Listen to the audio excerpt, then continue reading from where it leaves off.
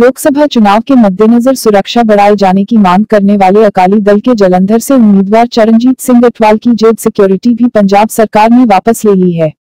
अटवाल लोकसभा के deputy speaker और पंजाब विधानसभा के टू बार स्पीकर भी रहे हैं।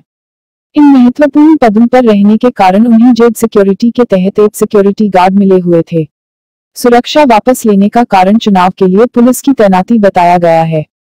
अटवाल को लुधियाना पुलिस ने शनिवार को लेटर भेजकर सुरक्षा वापस लेने का संदेश दिया और रविवार को पुलिस कर्मी वापस बुला लिए गए। अटवाल की सुरक्षा में अब सिर्फ़ एक कर्मी ही तैनात है। इस बात पर नाराज़गी जताते हुए चरणजीत सिंह अटवाल ने कहा कि चुनाव में व्यस्तता के कारण एक हफ़्ते पहले ही लुधियाना पुलिस को सुरक्षा बढ़ाने की मांगी की थी। लेकिन एक हफ़्ते बाद ही पहले से दी गई सुरक्षा भी वापस लेने का फरमान आ गया। यह फैसला राजनीतिक रूप से लिया गया है।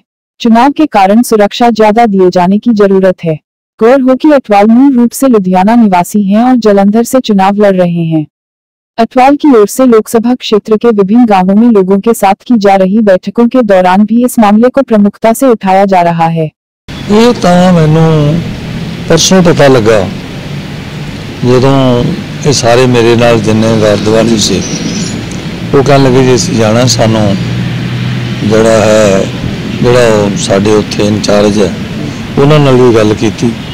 ਉਹ ਕਹਿਣ ਲੱਗੇ ਸਾਨੂੰ ਹੁਕਮ ਹੋਇਆ ਕਿ ਅਸੀਂ ਜਾਣਾ। ਤੋ ਇਸ ਲਈ ਜਿਹੜੀ ਸਿਕਿਉਰਿਟੀ ਸੀ, ਮੇਰਾ ਘਰ ਵੀ ਲੱਗੀ, ਮੈਂ ਘਰ ਅਜੇ ਗਿਆ ਤਾਂ ਨਹੀਂ, ਕਈ ਦਿਨਾਂ ਤੋਂ।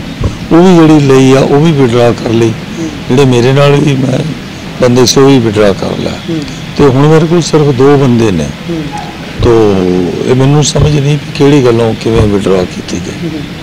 ਤੋ ਮੈਂ ਸਮਝਣਾ ਹੈ ਕਿ ਸਗੋਂ ਸਿਕਿਉਰਿਟੀ ਬਜਾਏ ਇਸ ਗੱਲ ਦੇ ਹੋਰ ਦੇਣ ਦੇ। ਉਹ ਸਿਕਿਉਰਿਟੀ ਜਿਹੜੀ ਪਹਿਲੀ ਸੀ ਉਹ ਵੀ ਵਿਡਰਾ ਕਰ ਲਈ। ਤੇ ਇਸ ਕਰਕੇ ਮੈਂ ਚਾਹੁੰਦਾ ਹੈ ਤੇ ਜ਼ਿਆਦਤੀ ਵੀ ਇਹਦੇ ਨਾਲ ਜਦੋਂ ਕਿ ਸ਼੍ਰੋਮਣੀ ਅਕਾਲੀ ਦਲ ਔਰ ਭਾਰਤੀ ਜਨਤਾ ਪਾਰਟੀ ਦਾ ਮੈਂ ਕੈਂਡੀਡੇਟ ਦੇ ਤੌਰ ਤੇ ਵਿਚਰ ਰਿਹਾ ਪਿੰਡਾਂ 'ਚ ਫਿਰ ਰਿਹਾ ਔਰ ਸ਼ਹਿਰ ਵਿੱਚ ਵੀ ਆਮ ਫਿਰ ਰਿਹਾ। ਇਸ ਕਰਕੇ ਮੈਂ ਸਭ ਮਹਿਸੂਸ ਕਰਦਾ ਕਿ ਇਹ ਕਾਂਗਰਸ ਸਰਕਾਰ ਦੀ ਇੱਕ ਕੋਝੀ ਚਾਲ ਹੈ। ਪੰਜਾਬ ਸਟੇਟ ਦੀ। ਤੋ ਕਿਉਂਕਿ ਮੇਰੇ ਕੋਲ ਜਿਹੜੀ ਸਾਰੀ ਸਿਕਿਉਰਿਟੀ ਸਟੇਟ ਸਿਕਿਉਰਿਟੀ ਸੀ। ਤੋ ਇਸ ਕਰਕੇ ਮੈਂ ਸਮਝਦਾ ਕਿ ਕੋਈ ਨਹੀਂ ਚੰਗੀ ਗੱਲ ਨਹੀਂ। ਜਿਹੜੀ security at this movement withdraw ਕਰਨੀ। ਤੋ ਇਹ ਮੈਂ ਸਮਝਦਾ ਜ਼ਿਆਦਤੀ ਹੈ। ਇਲੈਕਸ਼ਨ ਕਮਿਸ਼ਨ ਨੂੰ ਇਹ ਇਸ ਬਾਰੇ ਲਿਖਿਆ ਜਾਏਗਾ ਤੁਹਾਡੇ ਵੱਲੋਂ? ਹਾਂਜੀ ਹਾਂ ਮੈਂ ਹੁਣੇ ਭੇਜ ਰਿਹਾ ਕਰ ਰਿਹਾ। ਇਲੈਕਸ਼ਨ ਕਮਿਸ਼ਨ ਨੂੰ ਭੇਜ ਰਿਹਾ ਕਿ ਇਹ ਬਹੁਤ ਜ਼ਿਆਦਤੀ ਹੈ ਕਿ ਐਟ ਦਿਸ ਮੂਵਮੈਂਟ ਜਦੋਂ ਕਿ ਮੈਂ ਇਲੈਕਸ਼ਨ ਦੇ ਵਿੱਚ ਆ ਬਤੌਰ ਕੈਂਡੀਡੇਟ ਤੇ ਭਾਰਤੀ ਜਨਤਾ ਪਾਰਟੀ ਸ਼੍ਰੋਮਣੀ ਅਕਾਲੀ ਦਲ ਵੱਲੋਂ। ਤੇ ਉਸ ਸਟੇਜ ਦੇ ਉੱਪਰ ਜਦੋਂ ਕਿ ਸਿਕਿਉਰਿਟੀ ਵਧਾਉਣੀ ਚਾਹੀਦੀ ਸੀ, ਉਹ ਘਟਾ ਰਹੇ ਨੇ। ਤੇ ਮੈਂ ਸਮਝਦਾ ਕੋਈ ਚੰਗੀ ਗੱਲ ਨਹੀਂ।